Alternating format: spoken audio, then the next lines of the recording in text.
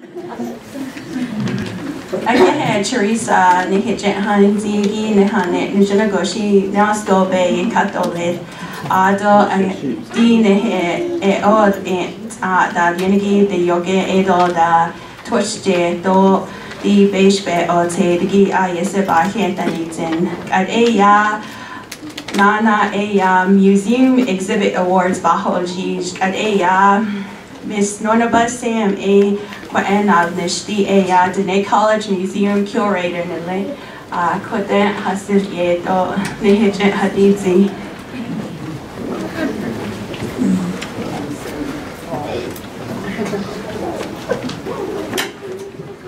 Yade Shigeno Shigna, Shay Nanaba Ida Shigene, it's a thing slong, but the Kijikis Ani Dene, Bashishi, Meet the Habani, the Shichi, Dobalagana, Ida Shinale, What Amna be host and Linchle. My take, the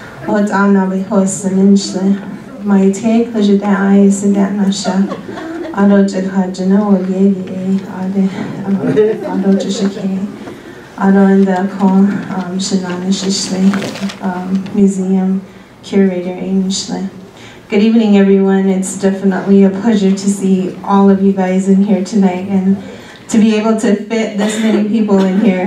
It amazes me. So, um, do me a favor and give Teresa a round of applause again. Wasn't she an amazing speaker?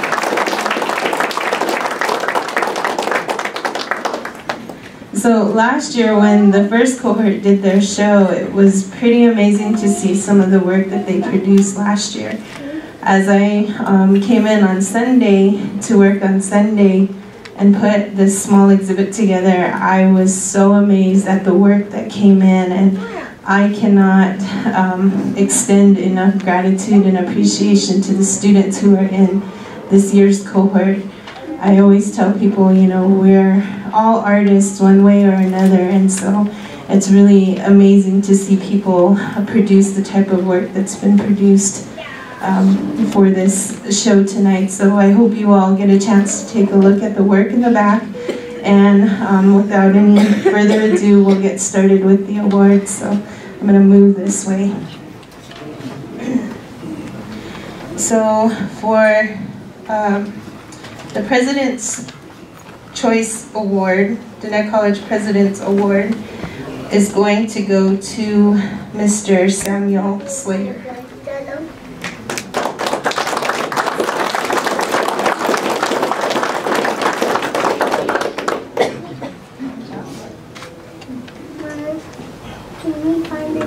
Next, we have the Board of Regents President's Award.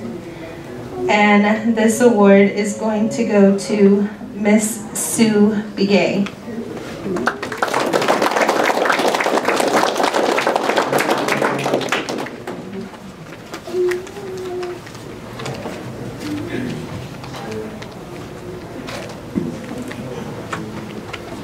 Next, we have the Best Textile Award.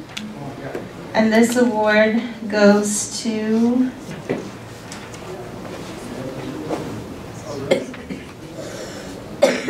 Miss Heather Williams.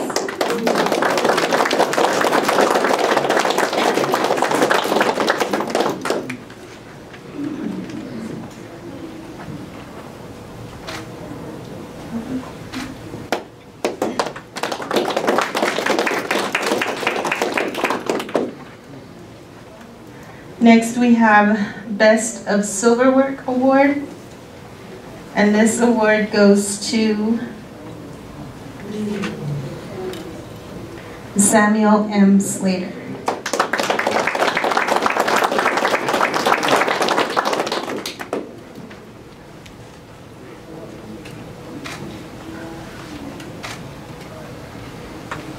Next we have Best of Leatherwork Award. And this goes to Miss Sue Begay.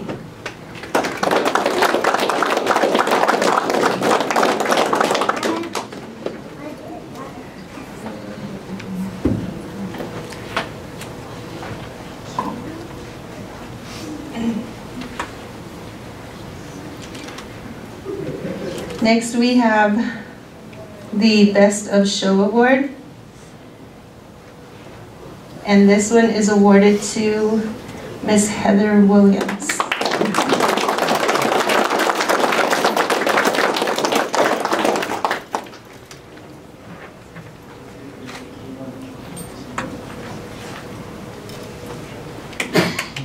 We have one more award, and this one is the um, Preserving the Legacy of a Master Weaver Award. And I'm going to ask Teresa to come up, um, mainly because this award is sponsored by um, Regent Hataki. So.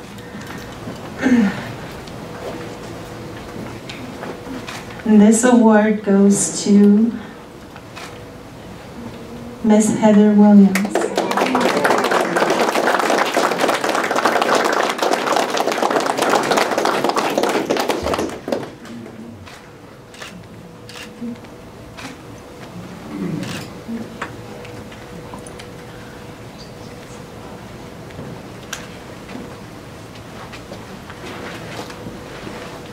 It's amazing to see what students can produce when they put their mind to something.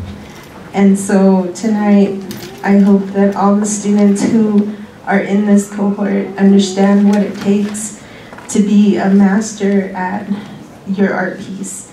And so I extend my congratulations to all of you, um, those who have um, taken home awards, and to those who will continue to master their art piece. Thank you, and I hope you guys enjoy the rest of your evening.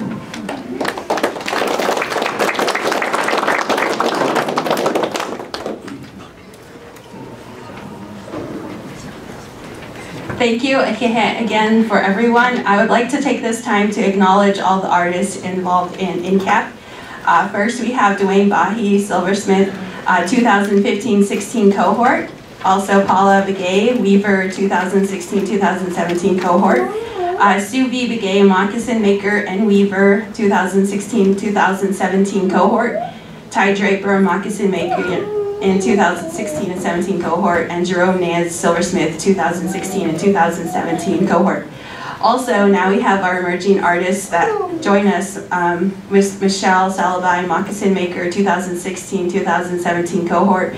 Samuel Slater, Silversmith, Moccasin Maker 2016-2017 cohort, Delia Wanika, Silversmith 2015-2016 cohort, and Heather Williams, Weaver 2016 and 2017 cohort. Uh, this event was actually co-sponsored and it's also a collaboration between many departments and also or, um, offices here at the college. We have the Navajo Cultural Arts Program, the Ned Hatathli Center Museum, Center for Diné Studies, Diné College, Kia'ani Library as well. And uh, we will be moving forward along in our agenda, but I just wanted to make a quick note because uh, some of you probably have checked out the Navajo Cultural Arts Program website. Um, and on there, they actually have current blogs from the um, from the artists who are in the program. And I wanted to mention that I was reading uh, some of your blogs about your trip to uh, the Toadlena um, trading post and the two Grey Hills trading post. Um, that's actually where I'm originally from, so you probably saw a lot of artwork, um, weavings from the Jumbos um, all the way down to the Wilsons. Uh, definitely it's a great opportunity for you to explore um, the tapestry and the masterpieces that are at the Two Grey Hills area. They call it the Two Grey Hills Rug Design. Um, and you probably saw my little rug too at the trading post. Um, that was actually my first piece that I wove. I was like three years old. Um, I traded it for some candy and ice cream. so it's still there. It's not for sale, but I just wanted to commend all the artists um, who have been participating in this program for the past um, year, also to the past cohorts.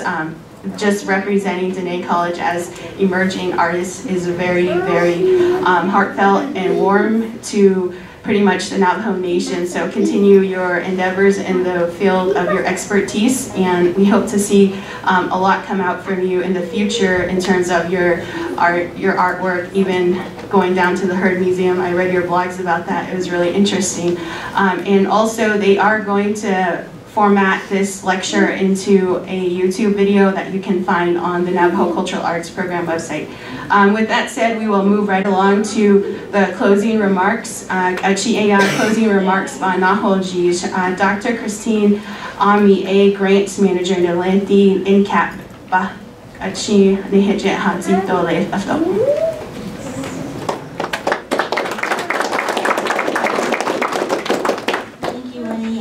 thank you for everybody. There are such great presenters here. I have nothing to say, so let's go on.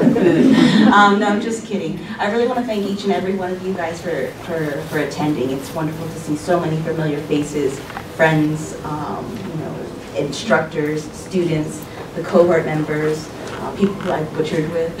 um, so, um, so that's always wonderful. I wanted to take a moment and say thank you uh, once again to Teresa and the concept of philosophy. When we take a look at philosophy, and this is something that we also stress in the program, and in my own classes, it's not something that we just think about. It's an actual action. We do it.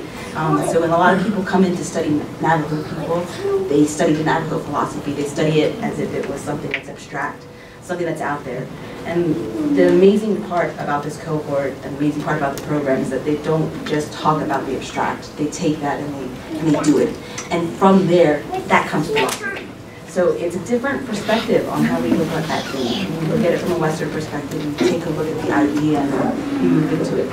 Instead, we have philosophy that actually comes out of the product. So I wanted to say thank you know each one of the cohort members uh, for for doing that and taking the time to to really focus on that. In their philosophy class, um, this semester they're learning how to do uh, water jugs. And some of the students said, well, why are we learning how to do another, another craft? And I said, well, because the philosophy comes from the craft. It comes from the doing. And so, you know, working with the natural materials, how do you collect the natural materials? How do you release the natural materials? How do you put pieces together? How do you destroy them? And how do you make something beautiful? And so these are the kinds of things that the students are really putting into practice. And, and I appreciate that because that's what we see out there in those uh, four cases. Um, not just from this cohort, but from the previous cohort and from our instructors, our staff members. We have uh, Michelle Vicenti's pieces out there, Dr. Wilson Aronilth, um, previous cohort, Carla Ami, Delia Winika is here. She has some of her, her classic um, pieces out there as well. So thank you to everybody who's doing that, who's, who's doing philosophy, not just talking about it. And it was a struggle. Um, Teresa talked a lot about, you know, uh, getting in the ground and your back hurting. And, and I think getting prepared for this exhibit pushed that, um, that teaching to a whole new level. You guys got a chance to understand what does it mean to have a deadline and, and actually have to stick to it. Um, I know we joke about Indian time, but um, but they're deadlines, and, and so when we're working at this level, um, you guys really took took that to a whole new level, and I'm, I'm proud of you guys for, for pushing through that. Some of you guys wanted to quit, some of you guys wanted to pull out, some of you guys, I don't need you to put, I, I met my limit, I met the minimum, right? That's all that I need to do for, for the exhibit, for the program, to get my grade. But you guys put yourself to the next level. You took that extra time to buff things You took that extra time to make sure that your, your wefts were perfect. You took that extra time to work with your leather, rework the leather. So that extra time pays off, and I hope that you guys appreciate that because we as viewers most definitely do. So I would like to uh, thank you. Uh, Winnie covered a whole bunch of stuff that I was going to take uh, take a look at. Um, but just in case you guys are interested in the program, feel free to contact us. We're, we're here, our office is on the first floor. Um, I would like to thank uh, Krista Littleben, she's our project coordinator, all of the people who are in attendance. Uh, President Russell stopped in, um, and so thank you guys for taking the time and, and joining us. If you guys have any questions, um, feel free to contact us. We're, we're found on Facebook, Twitter, Instagram. Talk to Malcolm Bob about that. He can he can fill you in with all the technologies. If you guys haven't had a chance to vote, there's one more really important award that has not been offered, and that's the Community Choice Award. For me, this is the most uh, exciting award because we never know what's going to happen. Um, it's based off of what community members who come into the exhibit and they pick what they think is the best of show. So we've had judges come in, we had three judges who specialize in silver work, in uh, leather work, and in weaving to, to give these awards. But for me, this special, this award is special because it comes from the community.